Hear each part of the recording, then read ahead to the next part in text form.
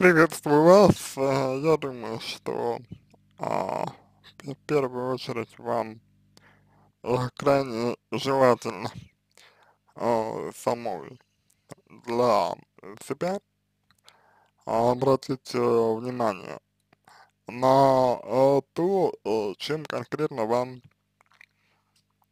не нравится ваше имя. Э, Совершенно очевидно, что вопрос имени, он вас волнует, вот, совершенно очевидно, что как-то у вас неприятные ассоциации, э, связанные с именем этим. И, соответственно, совершенно очевидно, что если мы говорим про имя, то это взаимоотношения с родителями, в частности, с бабушкой и мамой. И продолжением этого конфликта, вашего конфликта, на мой взгляд, является как раз-таки э, история, что вы боитесь их реакции почему-то, и вы э, близко, близко к сердцу примете их кри критику почему-то. Вот, э, соответственно, с этим и нужно разбираться. Если вы э, сами себе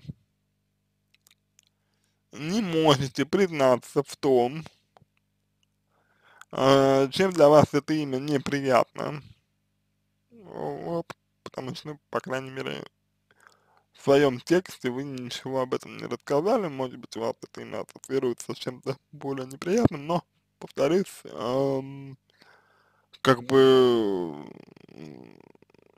имя вы сменить можете, но проблема ваша, она останется хотя потому, что мама, бабушка, еще кто-то будет рано вас называть, скорее всего, по первому имени.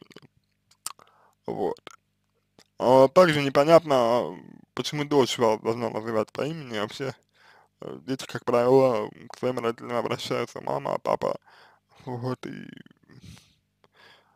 Конечно, есть случаи, когда ребенок называет своего родителя по имени, но это несколько, ну, скорее исключение из правил, поэтому как-то здесь это все, ну, немножко странно звучит. звучит.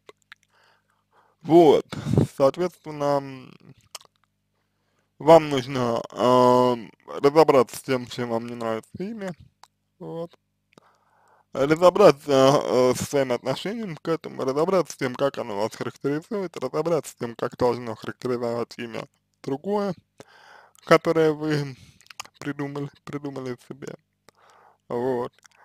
И э, чем лучше, э, чем полнее вы это сделаете, тем проще вам будет донести это до мамы и бабушки. При этом важно понимать, что если вам необходимо их одобрение, то его одобрения скорее всего не будет. Потому что, ну, не способны ваши мама и бабушка одобрить то, чего они не понимают, а они этого не понимают.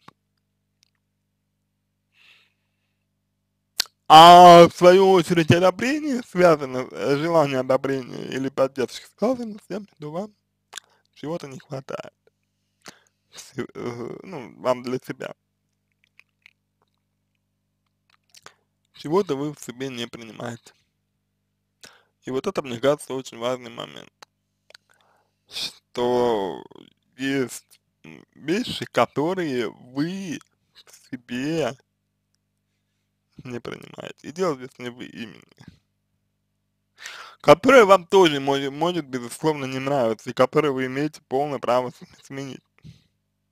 Это никак не э, взаимоисключает друг друга, просто чтобы вы, ну, отдавали себе в этом отчет. Понимаете?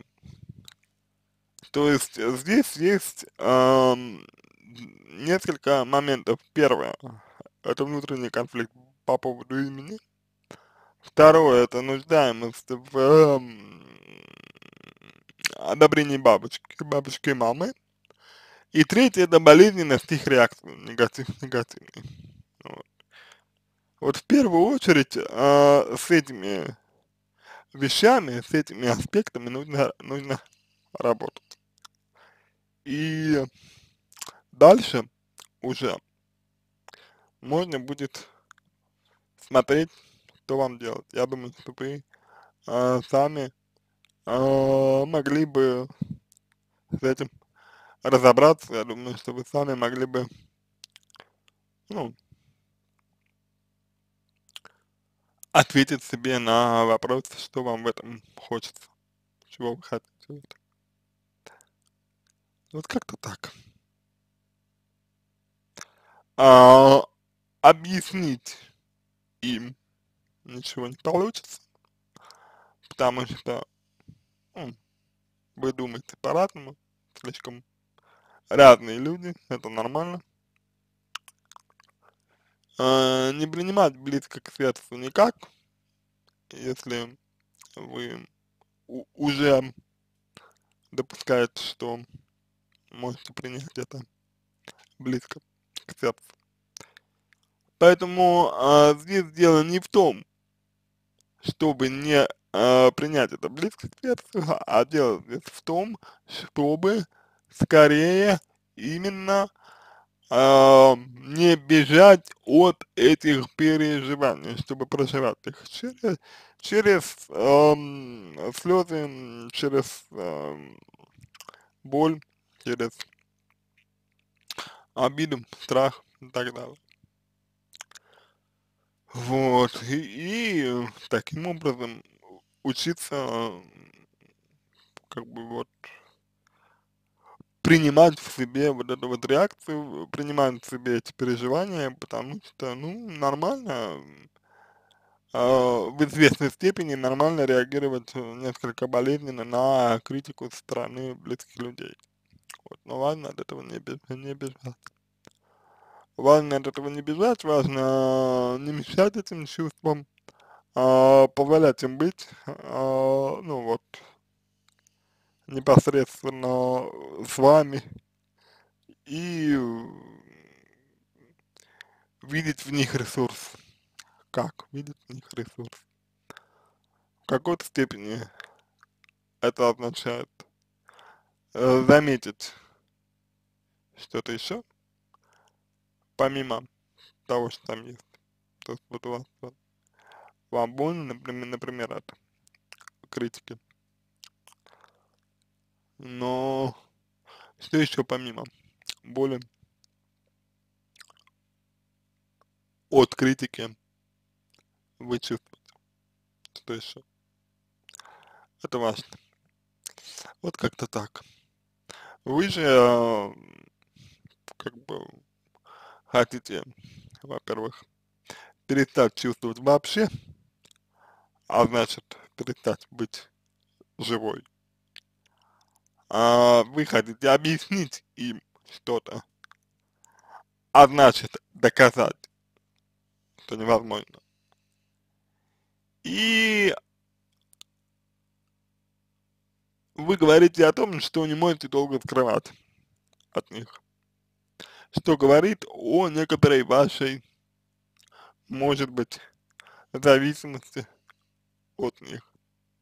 Ну, то есть, вот, э, недостаточно простроенные личные, личные границы между вами и ими.